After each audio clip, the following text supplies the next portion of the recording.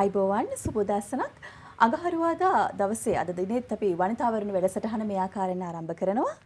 ඉතින් ඔබ දන්නවා අද වෙනකොට බොහෝ දෙනෙක් කතා බහ කරන කාරණාවක් තමයි කාන්තාව දේශපාලනයට එන ප්‍රවණතාවය අඩුයි කියලා. යෝජිත නව පළාත් පාලන සංශෝධන පනත් කෙටුම්පත තුළිනුත් මෙන්න මේ කාරණාව ගැන කතා බහට ලක් වෙලා තියෙනවා. එනිසාවෙන් අපි හිතුවා අද දවසේදී මෙන්න මේ කාරණාව ගැන ඔබත් එක්ක කතා බහ කරන්නට ඔබව දැනුවත් කරන්නට. එනිසා අපි අද අපේ මැදිරියට කැඳවාගෙන ආවා මේ ගැන කතා කළ යුතු හරිම තැනැත්තිය. ඒ තමයි පළාත් පාලන සහ පළාත් සභා මත්‍යංශයේ ප්‍රධාන නීති නිලධාරිනිය නීතිඥ ගයනි ප්‍රේමතිලක මහත්මිය අපි අද කැඳවගෙන ආවා. අයිබෝන් ඔබතුමියට. අයිබෝන්. අපි කතා බහ කරමු ඔබතුමියත් එක්ක මුලින්ම කොහොමද ඇත්තටම අද වෙනකොට කාන්තාව දේශපාලනයට පැමිණීමේ ප්‍රමණතාවය ඔබ දකින්නේ කොයි ආකාරයෙන්ද? ඇත්තටම ශ්‍රීම අපි දන්නවා අපේ රටේ ශ්‍රී ලංකාවේ කාන්තාව දේශපාලනයට පිවිසීම සම්බන්ධයෙන් අපේ අතීතය ගැන විමසලා බැලුවොත් 1931 තරම් වූ ඈත අතීතයකට දිව යනවා සර්වජන ඡන්ද බලය ලබා ගැනීම. සර්වජන ඡන්ද බලය ලබා ගැනීමත් එක්කම අපේ කාන්තාවන්ට හිමි වෙනවා මේ දේශපාලන අයිතිවාසිකම. ඒ වගේම ඒ 1931 නොවැම්බර් මාසයේ මුල් වරට ඇඩ්ලින් මොලමුරේ මැතිනිය පළාත් පාලන ආයතනයක් සඳහා තේරිපත් වෙනවා. නමුත් එදින සිට අද දක්වා වූ අතීතය දිහා බලනකොට අපිට දකින්න ලැබෙන දේශපාලන ප්‍රවිෂ්ඨ වීම කාන්තාවගේ ඉතාමත් පහළ මට්ටමක තියෙන්නේ. ඒ නිසා අපිට ඇත්තට මේ සම්බන්ධයෙන් කිසිසේත්ම සෑහීමකට පත් වෙන්න බෑ. මෑත කාලීන කාන්තාව දේශපාලනට පිවිසීමේදී අපි දකිනවා යම් පිබිදීමක් තියෙනවා. ඔබ හිතන්නේ ඇයි ඒ විදිහට යම් පිබිදීමක් තියෙන මේ කාන්තාව තුළ?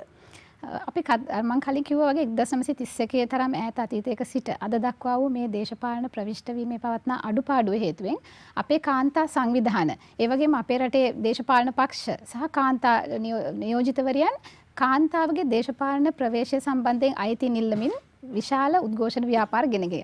ඒක ප්‍රතිඵලයක් විදිහට තමයි ඇත්තටම 2016 වර්ෂයේදී අපේ රටේ නව පනතක් සම්මත වෙන්නේ 2016 අංක 1 දරන පළාත් පාලන ආයතන සංශෝධන පනත නමින්.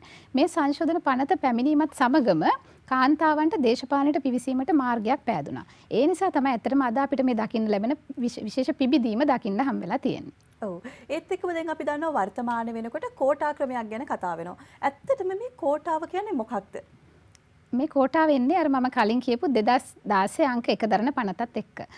මොකද අපි දන්නවා කාන්තාව කොයි තරම් උත්සාහ කරත් දේශපාලනයට පිවිසීමට ඔවුන් නගන චෝදනාවක් තමයි පුරුෂ පක්ෂය විසින් ඒ සම්බන්ධයෙන් ඔවුන්ට ලබා දෙන ඉඩකඩ මදි කියන එක.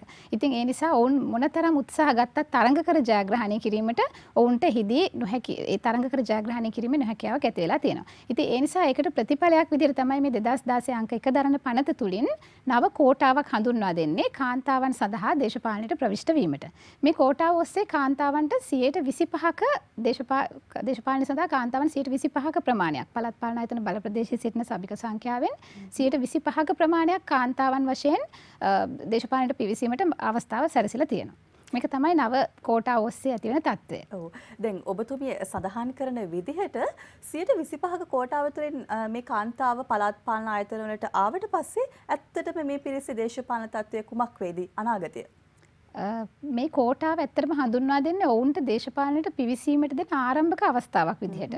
ඒ අවස්ථාව තුළින් ඔවුන්ට හැකියාව ලැබේ ඔවුන්ගේ දේශපාලන පෞරුෂය ගොඩනගා ගැනීමට. ඔවුන්ට හැකියාව ලැබේ පළාත් පාලන ආයතනයක් තුළ ඔවුන් කුමන ආකාරයෙන් ඔවුන්ගේ ඉදිරි ගමන සකස් කරගන්නවද? දේශපාලනය තුළ ඔවුන්ගේ ඉදිරි ගමන කුමන ආකාරයෙන් සකස් කරගන්නවද යනාදී කාරණා පිළිබඳව අධ්‍යයනය කිරීමට.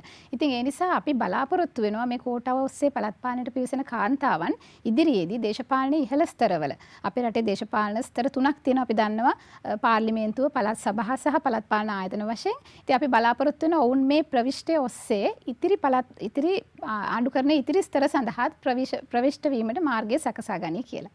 ඔව්.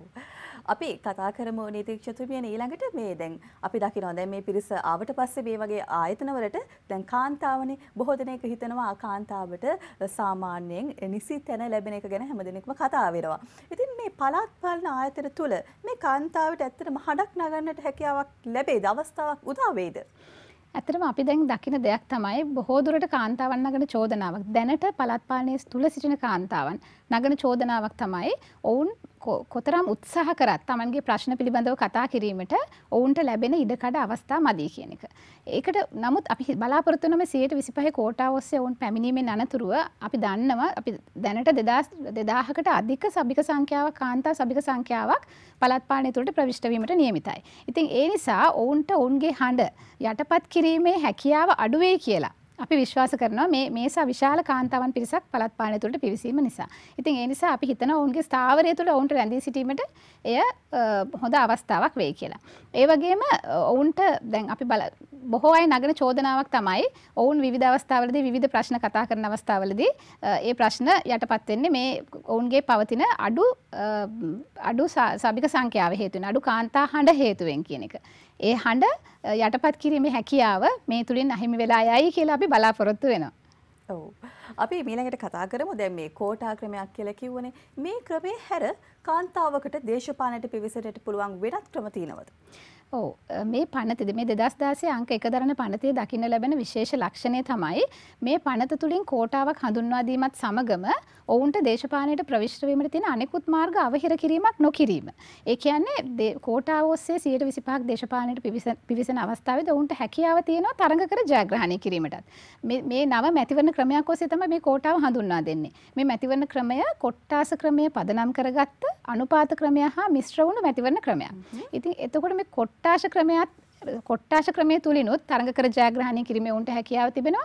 ඒ වගේම අනුපාත ක්‍රමය යටතේ තේරීපත් වන ලයිස්තුවර නම ඇතුළත් කර ගැනීමේ හැකියාවත් ඔවුන්ට තිබෙනවා. ඒ වගේම කෝටාව ඔස්සේ පළාත් පාලනයට පිවිසීමේ මාර්ගයත් ඔවුන්ට සැලසෙනවා. ඉතින් ඒ නිසා අපි බලාපොරොත්තු වෙනවා මේ ක්‍රම තුන ඔස්සේම කාන්තාවන් ඉදිරි මැතිවරණයේදී පළාත් පාලන ආයතන තුළ දක්නට ලැබේ කියලා. ඔව්. අපි දන්නවා ඔබ දන්නවා ශ්‍රී ලංකාවේ දේශපාලනය ගැන කතා වෙනකොට මේ දේශ ශ්‍රී ලංකාවේ මැතිවරණය හරිම ප්‍රචණ්ඩයි. මෙන්න මේ වගේ සුරු කාලයකදී කාන්තාවට ඇත්තටම මේ දේශපාලනයට එන්න බියක් තියෙනවා. ඔබ කොහොමද ඒ ගැන හිතන්නේ? මම කිව්ව ශ්‍රීම මේ අපි යන්නේ නව මැතිවරණ ක්‍රමයකට. එතකොට මේ මැතිවරණ ක්‍රමය තුළ පදනම වෙන්නේ කොට්ටාශ ක්‍රමය. කොට්ටාශ ක්‍රමය කියලා කියන්නේ ඉතාමත් සුළු ප්‍රදේශයකට තමයි ඔවුන් තරඟ කරන්නේ. සුළු ප්‍රදේශයකට තරඟ කිරීමේදී අපි හිතනවා සමානුපාතික ක්‍රමය දැනට ක්‍රියාත්මක වෙන ලංකාවේ දැනට ක්‍රියාත්මක වෙන සමානුපාතික ක්‍රමය හා මිශ්‍ර වුණු මේ මනාප ක්‍රමය කියන தත්ත්වය මේ නව මැතිවරණ ක්‍රමය තුළ දක්නට ලැබෙන්නේ නැහැ. ඉතින් ඒ නිසා අපි හිතනවා බොහෝ දුරට ප්‍රචණ්ඩත්වය නව මැතිවරණ ක්‍රමය තුළ අඩු වෙයි කියලා. එහෙම අඩු වුණොත් කාන්තාවට එහිදී කිසිදු බාධාවකින් තොරව අ, දේශපාලනය සඳහා ප්‍රවිෂ්ට වීමේ මාර්ගය සැලසේ. ඔව්. දැන් බොහෝ දෙනා ප්‍රකාශ කරනවා කාන්තාව දේශපාලන ප්‍රවිෂ්ට වීම සුදුසු නැහැ කියලා. නමුත් ඒ ගැන අතීතයේ ඉඳන් වෙනකොට අපිට මේ බොහෝ ආද පූර්වාදර්ශ තියෙනවා. ඔබ ඒ ගැන මොකද හිතන්නේ? ඇත්තටම අපි දන්නවා අපේ රටේ සියයට පනස් දෙකක් වූ කාන්තා සංඛ්‍යාවක් සිටිනවා. කාන්තා අනුපාතය සියයට පනස් දෙකක් වෙනවා. ඉතින් එහෙමනම් කාන්තාවන් වෙනුවෙන් ඔවුන් ඔවුන්ගේ ප්‍රශ්න පිළිබඳව දන්න ඔවුන්. එනිසා තීරණ ගන්නා මට්ටම්බල කාන්තාවන් සිටීම අනිවාර්යයි. ඉතින් ඒ නිසා යමෙක් පවසනවා නම් කාන්තාවන් අ, ඊට වඩා පසු පසු පසක සිටිය යුතුයි කියලා දේශපාලන තීරණ ගැනීමේ මට්ටම දක්වා නොපැමිණිය යුතුයි කියලා අපි එය පිළිගන්නේ නැහැ. හේතුව ඔවුන් තමයි ඔවුන්ගේ ප්‍රශ්න පිළිබඳ ඔවුන්ගේ දරුවන්ගේ ප්‍රශ්න පිළිබඳව කතා කළ යුතු සුදුසුම අ, තැනැත්තියන ඉතින් ඒ නිසා අපි බලාපොරොත්තු වෙනවා කාන්තාවන් දේශපාලනයට පිවිසීම අත්‍යවශ්‍ය දෙයක් කියලා. දැන් ඔබ සඳහන් කරා කාන්තාව තමයි කාන්තාවගේ ප්‍රශ්න දන්නේ කියලා. නමුත් දැන් අපේ රටේ අතීතය ගැන බලනකොට කාන්තාව මේ රට පාලනය කරපු යුගයන් තිබුණා. නමුත් අදටත් කාන්තා නායිකාවන් අපේ රටේ ඉන්නවා. නමුත් ප්‍රශ්නේ එහෙමමනේ. ගැටලුව අපි අපි හිතුවා කාන්තාවන්ට දේශ අපේ අපේ රටේ පවතින පීතෘ මූලික සමාජයක් අපි දන්නවා දකුණු ආසියාතික අනිකුත් දකුණු ආසියාතික රටවල් වගේ අපේ රටෙත් පවතින පීතෘ මූලික සමාජයක්. නමුත් අපේ රටේ කාන්තාවන්ට දේශපාලනයට පිවිසීමේ මාර්ග සැකසුණා. මම කලින් කිව්වා වගේ 1931 තරම් වූ අතීතයක අපිට හිමි වුණු සර්වජන ඡන්ද බලයත් එක්ක කාන්තාවන් දේශපාලනයට ප්‍රවිෂ්ට වීම දකින්න ලැබුණා. නමුත් ඒ ඒ පිවිසෙන කාන්තාවන් පසු අවස්ථාවකදී අ, ලංකාවේ ප්‍රථම අගමැතිනිය අපෙන් බිහි වෙනවා. ඒ වගේම 1994 වර්ෂය වන විට කා- රටේ ප්‍රධාන ජනාධිපතිනිය වගේම අගමැතිනිය යන දෙදෙනාම කාන්තාවන් වුණා. අ, කුමන හෝ ආකාරයකින් කාන්තාවන්ට දේශපාලනයට ප්‍රවිෂ්ට වීමේ මාර්ගය ඇහිරුණා. අ, ඔවුන්ට තරඟ කර ජයග්‍රහණය කිරීමේදී ඇතිවුණු යම් යම් අපවස්ථා හේතුවෙන්. අර පීතෘ මූලික සමාජය හේතුවෙන්.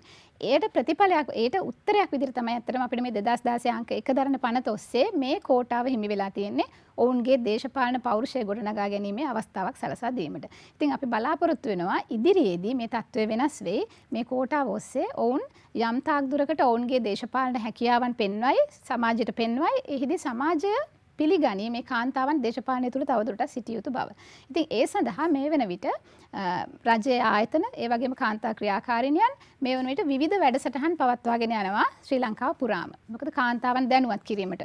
ඔවුන් දේශපාලනයට පිවිසීමෙන් අනතුරු ඔවුන් තව දුරටත් දේශපාලනය රඳවා ගැනීමට ඔවුන්ගේ දේශපාලන අනාගතය සුරක්ෂිත කිරීමට අවශ්‍ය ක්‍රියාමාර්ග මේ වන විටත් අප විශේෂෙන්ම පළත් සභාසා පළත් පාලන අමාත්‍යංශයනුත් කාන්තා කටයුතු අමාත්‍යංශ මේ ආදී මේ ආදී ආයතන මගින් පවත්වාගෙන යනවා. ඔව්. අපි අද දවසට කතා කරන්නේ කාන්තාව සහ දේශපාලනය කියන කාරණාව ගැන. ඉතින් මේ කතාබහේ තවත් විස්තර අපි සූදානම් කෙටි විරාමයකින් පස්සේ කතා කරන්න.